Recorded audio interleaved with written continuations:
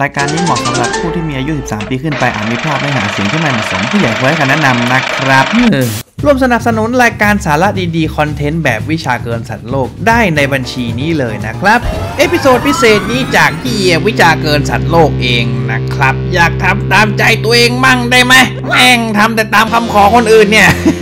ขอแถมให้อีก EP หนึ่งละกันนะครับสำหรับในซีซั่นนี้เนาะโอเค จัดไปครับ นี่ไงตัวที่จะทำอืม เพลงคุ้นๆไงแม่ใครรู้จักหรือว่าคุ้นเพลงนี้เนี่ยบอกได้เลยนะครับ ว่าอายุประมาณเท่าไหร่กันแล้วนะเพื่อนๆหลายคนอาจจะเคยเห็นเจ้าปลาพวกนี้ในอินเทอร์เน็ต แล้วก็สงสัยกันว่าเฮ้ยมันมีจริงหรือวะหรือว่าอะไรอย่างเงี้ยคำตอบก็คือมันเป็นปลาเป็นมีสิ่งมีชีวิตที่มีอยู่จริง ๆ ในโลกเราใบนี้นะครับ แล้วน้องพวกนี้ก็มีชื่อกันว่า lumpsucker น่ารัก ไล่ปลาล้ำสเกอพวกนี้เนี่ยมันเป็นปลาที่มีชีวิตอยู่อย่างไรมันมาจากนอกโลกหรือเปล่านั้นเนี่ย วันนี้วิชาเกินสัตว์โลกก็มีคำตอบให้นะครับ และนี่ก็คือรายการวิชาเกินสัตว์โลกซีซั่น4 EP พิเศษขอทำตามใจตัวเองบ้างได้ไหม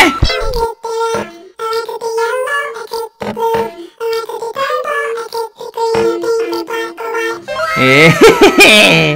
ถ้าพูดถึงสัตว์ทะเลหน้าตาประหลาดแล้วละก็เนี่ยนะครับ เจ้า lumpsucker fish เนี่ย โอ้โห มันก็ติด top list กันอยู่แล้วอะนะครับ หน้าตาอย่างกับเป็นปลาที่มาจากอวกาศนะเนาะ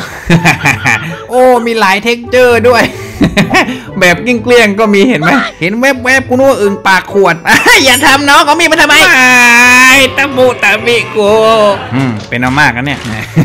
เห็นหน้าตาแปลกพิลึกแบบนี้เนี่ยจริง ๆ แล้วน้อง lumpsucker พวกนี้มันไม่ได้เป็นปลาที่เพิ่งค้นพบใหม่อะไรหรอกนะครับ มันเป็นปลาที่คนแถวต่างชาติเขาคุ้นชินกันดีอยู่แล้วอะนะโดยเฉพาะในแถบนอร์เวย์แถบไอร์แลนด์เนี่ยแล้วช่วงที่แถบบ้านเราเริ่มมารู้จักกันเนี่ยนั่นก็เป็นเพราะว่าคลิปไวรัลที่คนญี่ปุ่นนำปลาพวกนี้ที่เขาเลี้ยงเป็นปลาสวยงามเนี่ยนะครับ มาโพสต์ลงใน YouTube อะนะ อือหือโอ้โหน่ารักทุกตัวเลย นั่นแหละนะครับ หลากหลายสีหลาก texture และที่สำคัญก็คือรูปร่างหน้าตานี่ อือหือล้ำสุดๆเลย มึงเป็นปลาจริงๆเหรอวะ งั้นเอาเป็นว่าก่อนที่เราจะไปเมาส์มอยกันเนี่ยนะครับ เรามาทำความรู้จักกับพื้นเพแล้วก็พื้นฐานของปลาพวกนี้กันก่อนดีกว่านะครับ น้องปลาหน้าตาแปลกประหลาดพวกนี้เนี่ยนะครับ น้อง lumpsucker เนี่ยนะพวกมันจริง ๆ แล้วเป็นปลาที่อยู่ในอันดับเดียวกับพวกปลาแมงป่อง พวกปลาสิงโตนั่นแหละนะครับแม่แต่คงจะเป็นประมาณว่าวิวัฒนาการทำร้ายอะนะครับ แก๊งหนึ่งนี่รูปร่างสง่างามน่ากลัวมากๆเลย แต่อีกแก๊งหนึ่งเนี่ยโอ้โห อุ้มตุ้ย โดยน้องปลา lumpsucker พวกนี้เนี่ยนะครับ พวกมันเป็นปลาที่อยู่ในวงที่มีชื่อว่าไซครอป 3D นะครับ คือในวงนี้ก็จะเป็นปลาในกลุ่ม lumpsucker หมดเลยนะครับ ในวงนี้เนี่ยจะมีปลาพวกนี้เนี่ยประมาณ 30 กว่าชนิดนะครับ ที่เขาค้นพบแล้วก็เจอกันแล้วนะครับ ในน้ำลึกนี่ไม่รู้ไง บางสายพันธุ์ที่อยู่น้ำลึกจริงๆเนี่ยนานๆเขาถึงจะเจอกันทีนะครับ อยู่ลึกในใต้ทะเลเป็นพันเมตรนู่นน่ะ พอเอาขึ้นมาบนบกเนี่ยเจอแรงกดของน้ำทะเลที่มันแตกต่างกัน โอ้โห สภาพกูเลยเป็นอย่างเงี้ย เขาก็หาว่ากูเป็นเอเลี่ยนกันโถยนะ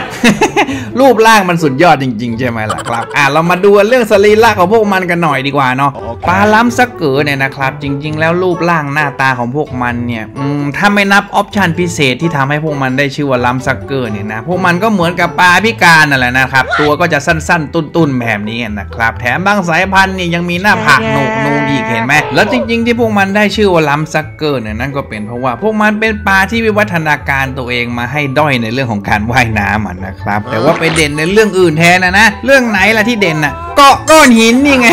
อย่า ไปพ้นใส่พวกมนุษย์โล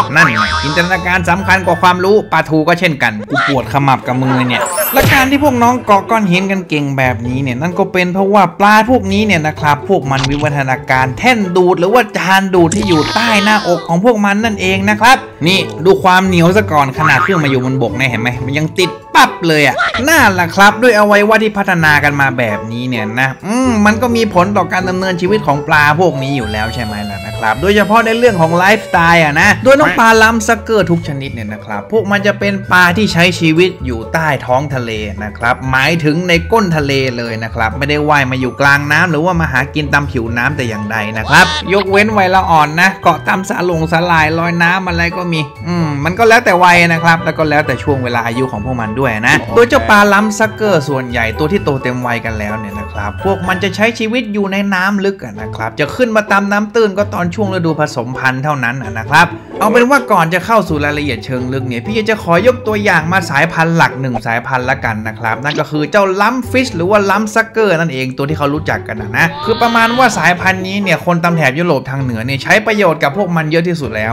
นะครับตามซูเปอร์มาร์เก็ตก็ยังหาได้เลยเห็นไหมเฮ้ยนั่นมันคาเวียร์ไม่ใช่เหรอวะ ใช่ครับคาเวียร์ที่มาจาก lumpsucker นี่แหละ oh my god กินน้องลงไปได้ยังไงวะ นั่นแหละคนยุโรปนะครับ ควักไส้ควักพุงน้องไปทำคาเวียร์กันเลยทีเดียวน้องปลา lumpfish ชนิดนี้เนี่ยนะครับ จริง ๆ แล้วพวกมันก็เป็นปลาตัวตั้งตัวตีของปลาในวง lumpsucker เลยนะครับ โดยพวกมันจะอยู่ในสกุล Cyclopterus นะครับ จัดเป็นปลา lumpsuckerแท้ๆเลยนะครับ ซึ่งสายพันธุ์นี้เนี่ยก็จะมีกระจายพันธุ์หลักๆ อยู่ตามทะเลเขตหนาวนะครับ ตามทะเลอาร์กติกแอตแลนติกอะไรอย่างเงี้ยมีโผล่ไปกระปิดกระปอยแถวทะเลยุโรปนะครับ แถวสเปนเขาก็ว่าเจอกันบ้างนะ โดยอย่างที่บอกนะครับ ว่าปลาพวกนี้เนี่ยพวกมันเป็นปลาน้ำลึกนะครับ แล้วก็จะอาศัยอยู่ตามก้นทะเลตามที่มีหินตามที่มีสาหร่าย หรือว่ามีวัสดุให้พวกมันเกาะนะครับ โดยวันๆของน้อง lumpsucker พวกนี้เนี่ยนะครับพวกมันก็จะอาศัยการพลางตัวเพื่อการล่าเหยื่อนะครับอยู่นิ่งๆ แล้วก็รอพวกเหยื่อพวกปลาเล็ก ๆ หรือว่าพวก crustacean เล็ก ๆ อะไรพวกเนี้ยว่ายน้ำผ่านพวกมันแล้วพวกมันถึงค่อยกินนะครับหยุดคิดไปเลยนะว่าสังขารแบบนี้เนี่ยจะว่ายน้ำกรวดเหยื่อเป็นนักล่าที่มีความปราดเปรียวว่องไวเนี่ย นี่ขนาดกูอยู่ในตู้ปลานะก็ยังว่ายน้ำได้ง่อยขนาดนี้เลยแม่ถ้าไปอยู่ในทะเลคลื่นลมแรงเนี่ยกูจะเป็นยังไงเฮ้ยมันดูถูกเราได้ไงเนี่ยเห็นไหมอวัยวะในการล่าของเราเนี่ยเห็นป่ะเฮ้ยลิ้นเราแยกสองแฉกได้เนี่ยไม่ต้องมาโกหกคนดูเลยนะ เอากุ้งมาแบ่งกูซะดีๆลากกูไปด้วย ถ้าอีพวกนี้มันพูดกับเราได้จริง ๆ ที่ถ้าจะหามากๆเลยเนาะอืมนอกเรื่องไปไกลละกลับเข้ามา topic เรื่องชีวิตของน้อง lumpsucker กันเหมือนเดิมนะครับถึงแม้ว่าไลฟ์สไตล์ของน้อง lumpsucker พวกนี้จะน่าเบื่อนะครับ อยู่ตามก้นทะเลรออาหารผ่านหน้ามาแล้วค่อยจับกินไปวันๆเนี่ยนะ แต่จริง ๆ แล้ววงจรชีวิตของน้อง lumpsucker พวกนี้เนี่ยน่าสนใจมากๆเลยนะครับ เริ่มจากช่วงฤดูผสมพันธุ์ของน้อง lumpsucker เนี่ยนะครับ พวกมันเป็นปลาน้ำลึกใช่ไหมแต่ในฤดูผสมพันธุ์เนี่ยปลาพวกนี้เนี่ยมันจะว่ายมาในเขตน้ำตื้นในที่ที่มีอุณหภูมิอุ่นขึ้นนะครับโดยในช่วงฤดูผสมพันธุ์เนี่ยน้อง lumpsucker ตัวผู้ที่โตเต็มวัยแล้วเนี่ยพวกมันจะเปลี่ยนสีของตัวเองให้มีสีแดงฉูดฉาดประมาณนี้นะครับหรือว่าสีส้มเนี่ยนะและที่บอกว่าขึ้นมาน้ำตื้นกันเนี่ยนะครับส่วนใหญ่แล้วจะเป็นตัวผู้ที่ขึ้นมาเตรียมสถานที่รอตัวเมียก่อนนะครับพวกมันจะขึ้นมาทำรังมาตกแต่งสถานที่ แล้วก็มาทำตัวเองให้กระปี้กระเป๋าเพื่อที่จะดึงดูดตัวเมียนะครับหลังจากที่ตัวเมียเนี่ยว่ายน้ำตามๆขึ้นมาแล้วอั้นไข่อะไรอย่างเงี้ยก็ต้องหาที่ลงใช่ไหมว่ายน้ำมาเหนื่อยๆจากน้ำลึกเนี่ยนะพอมาเจอพวกคุณผู้ชายบริการอยู่ตามชายฝั่งนี่ก็หาจับคู่กันไป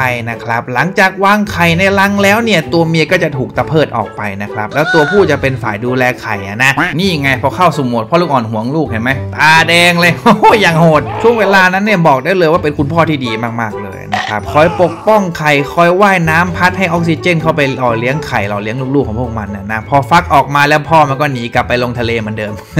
ลูกน้อยที่ออกมาเนี่ยต้องบอกเลยนะครับว่าหน้าตาน่ารักมากๆเลยนะครับในวัยแรกเกิดเนี่ยสีของพวกมันจะออกแดงๆแบบนี้นะครับแล้วก็มีเส้นตรงตาด้วยเห็นไหมแต่พอโตขึ้นมาหน่อยก็จะออกสีน้ำเงินแบบน้ำทะเลนะครับประมาณนี้นะแต่เอาเข้าจริงๆอีปลาพวกนี้มันก็ปรับสีตัวเองตามสภาพแวดล้อมได้นั่นแหละนะครับเพื่อความเนียนนะเนาะพอโตขึ้นหน่อยฟูมฟักตัวเองจนสมบูรณ์แล้วพวกมันก็จะลงไปอยู่น้ำลึกเหมือนกับพวกพ่อแม่ของพวกมันนะนะครับ น้องล้ำฟิตสายพันธุ์นี้เนี่ยนะครับถือได้ว่าเป็นปลาล้ำซักเกอร์ที่ใหญ่ที่สุดแล้วอะนะครับ โดยเฉพาะในตัวเมียของสายพันธุ์นี้เนี่ยนะครับขนาดยาวได้ถึง 50 เซนเลยนะครับตัวใหญ่ๆอะนะปลอตัวเมียใหญ่กว่าตัวผู้นะครับทุกสายพันธุ์เลยแล้วตามแถบประเทศแถวยุโรปเหนือเนี่ยนะครับประเทศแถวนอร์เวย์แถวกรีนแลนด์แถวไอร์แลนด์เนี่ยนะ lumpsucker สายพันธุ์นี้เนี่ยถือว่าเป็นปลาที่สำคัญมากๆเลยนะครับอืมไม่ว่าจะจับเอามาทำไข่ปลาคาเวียร์หรือว่าจับปลาพวกนี้เอามาใส่ในฟาร์มปลาแซลมอนเพื่อให้ปลาพวกนี้คอยกินปรสิตเพื่อปกป้องแซลมอนของพวกเขาเนี่ยนะครับจริงๆนะธุรกิจฟาร์มปลาแซลมอนแถวนั้นเนี่ยเขาเอา lumpsucker พวกนี้เนี่ยมาเลี้ยงล้อมรอบค่ายปลาแซลมอนของพวกเขาอะนะครับเพื่อให้พวกมันคอยกรองคอยกินพวกปรสิตพวกอะไรที่จะมาทำให้แซลมอนของพวกเขาเสียสุขภาพอะนะครับโอ้ก็ถือว่าเป็นปลาที่ค่อนข้างเก่าแก่ แล้วก็คนนำมาใช้ประโยชน์กันนานพอสมควรแล้วนะครับแต่แถวบ้านเราเพิ่งมารู้จักกันนะประมาณเนี้ยไปเราไปดูสายพันธุ์ lumpsucker ที่น่าสนใจกันบ้างดีกว่า โอ้จริง ๆ แล้วมันมีเยอะนะครับ ตัวที่พี่จะชอบนะนะ เริ่มจากนี่เลยที่เอเลี่ยนสายพันธุ์น้ำลึกเนี่ยนะครับ แต่เวลาขึ้นบกมาฟีบอย่างเงี้ย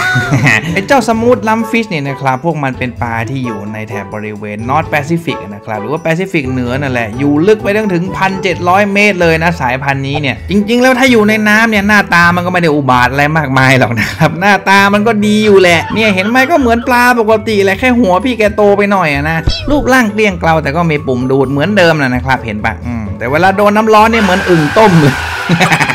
ไม่ใช่แค่เวลาโดนน้ำร้อนนะเว้ยสายพันธุ์นี้เนี่ยเวลาถูกลุกลานเนี่ยนะพวกมันจะอมน้ำเข้าไปแล้วก็ทำตัวพองๆเหมือนกับอึ่งเลยนะครับแต่ว่าเวลาอยู่บนบกเนี่ยก็จะสูดอากาศเข้าไปเหมือนกับพวกปักเป้าเลยแหละทำตัวพองๆอย่างเงี้ยเห็นไหม เฮ้ยเหมือนลูกกระโปงเลยวะก็เข้าใจอยู่นะครับว่าอยู่ในใต้น้ำลึกเนี่ยนะสภาพแวดล้อมมันโหดร้ายนะครับไม่ว่าจะเป็นปลาคอดปลาหิมะพวกนี้นะก็ชอบกินพวกลัมฟิชหมดเลยนะครับอืม ไปสาย smooth เสร็จละเราไปดูสายหนามหนามๆกันบ้างดีกว่า นี่เลยนะครับ spiny lumpfish จริง ๆ สาย texture หนามเนี่ยมันก็มีหลายชนิดอยู่นะครับ แต่ก็จะพูดรวมๆไปละกันเนาะมันก็แตกต่างอะไรกันไม่เยอะหรอกนะครับไลฟ์สไตล์ไม่ว่าจะเป็นสายที่อยู่แปซิฟิกหรือว่าสายที่อยู่แอตแลนติกก็เหมือนกันเลยนะครับสาย lumpfish พวกนี้เนี่ยมันเป็นสายตัวไม่ค่อยใหญ่มากนะครับโตสุดนี่ก็ 10กว่าเซนเองอะนะครับอืมสีก็อย่างที่เห็นเลยนะครับมีหลายสีเลยนะครับอีกแก๊งตัวเล็กพวกนี้เขานิยมจับมาเลี้ยงกันในตู้ด้วยแหละมันน่ารักน่าชังดีอะโอ้ยน้องหนามทุเรียนอยากได้มาเลี้ยงบ้างจังเลยอืมว่าแก๊งหนามตัวเล็กแล้วนะ แต่จริง ๆ แล้ว lumpfish ยังมีสายพันธุ์ที่เล็กจิ๋วกว่านี้อีกนะครับ น้องยูไมโครเทมัส W A E อ่านไม่ออก ช่างแม่งเถอะสายพันธุ์นี้ชื่อคอมมอนเนี่ยยังมีใครตั้งเลยด้วยซ้ำอะนะครับอืมสายพันธุ์นี้คนญี่ปุ่นเขาก็เจอกันเยอะนะครับเพราะว่าเจอแถวฮอนชู เจอแถวจังหวัดชิบะในญี่ปุ่นเนี่ยนะครับสายพันธุ์นี้เนี่ยโตเต็มวัยจริง ๆ นี่แค่2เซนติเมตรเองนะครับจิ๋วหลิวเลยนะครับแถมสียังแจ่มแจ๋วอีกนะ สีแบบปลานีโมก็ยังมีเลยเห็นไหมโอ้โหอย่างกับลูกออสเลย